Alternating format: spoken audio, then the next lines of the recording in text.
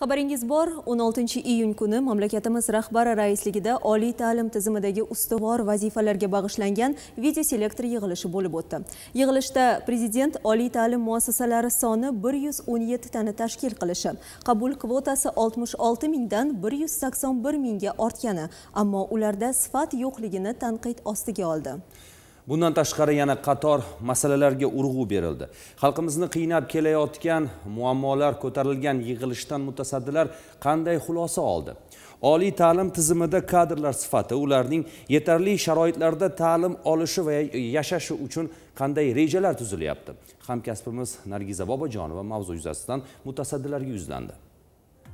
Bu yil bir yarim milliondan ziyod yoshlar oliygohlarga kirish uchun hujjat topshirishi kutilmoqda. Shulardan talabalikka ne ne orzu havaslar bilan o'qishga kirgan yoshlar faqatgina diplom bilan emas katta bilim qo'lida kasbi va malakasi bilan bitirib chiqishi lozim.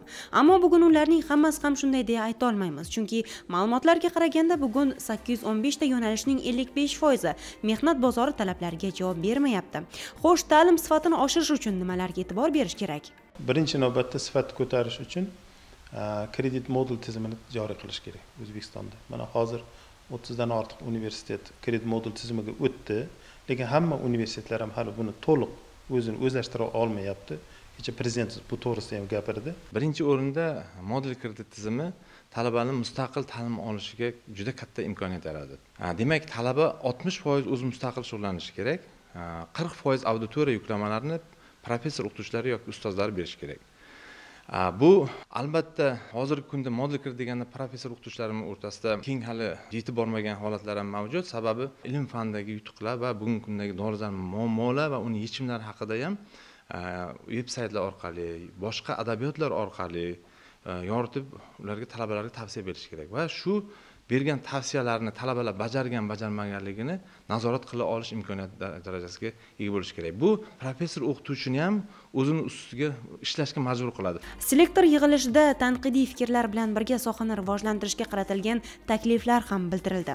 Xususan oliygohlar boshqaruv kengashining rolini oshirish va kafedralar vakolatini kengaytirish ham shular qatoridan joy oldi. Birinchi navbatda mana shu universitetlarni asosini tashkil etadigan kafedralarga ko'p vakolatlar berildi. Endi rivojlangan davlatlardagi kamida ikkita kafedralar bilan muloqotga chiqib ular bilan aloqa o'rnatib ilmiy o'quv va boshqa yo'nalishlarda ishlar bajargan faoliyat ko'rsatgan kafedralar kelajakda o'zini yonida bir markaz ochib qo'shimcha daromad keltirish bo'yicha qator ilmiy tadqiqot ishlarini olib borishi mumkin. Bu markazlar ta'lim sifatiga ta'sir qiladi.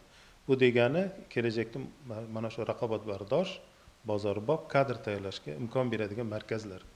Ham moliyaviy erkinlikka e, yo'l ko'rsatib berdi. Talabalikka qabul qilingan ko'pchilik viloyatlik talabalar uchun birinchi o'rinda muammo bo'ladigani bu talabalar turar joyi ya'ni yotoqxonalar. Chunki barcha oliy ta'lim muassasalarida ham barcha talabalarni qamrab oladigan bu kabi talabalar yotoqxonalari mavjud emas. Borlari ham barcha talabalarni qamrab ololmaydi. Xo'sh bu borada qanday talablar qo'yildi qanday yangiliklar qilinadi va qanday ishlar amalga oshiriladi? Mana kecha prezidentimiz aytdi yigirma ikki ming talabaga mos yotoqxona oltmish mingdan ortiq ijarada yashayotgan yoshlarni o'ylashimiz kerak. Buni bitta yo'li hozir davlat xususiy sherikchilik asosida quramiz deyapti. Hozir shunaqa hokimlarga topshiriq berdi. Universitetdan uzoqligi bir yarim kilometrdan uzoq bo'lmagan joydan shu atrofida yer berish kerak shu radiusda.